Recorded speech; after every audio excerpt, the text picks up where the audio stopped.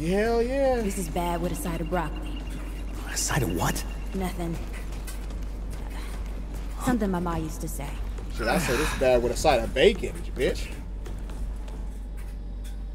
Hell no, guns out for Harambe, motherfucker. Nah, nah, keep the keep the Thule in case people. Hell no! Hey, that don't Hell Got the Thule in case motherfuckers want to act the foolie. I'm just saying, bro.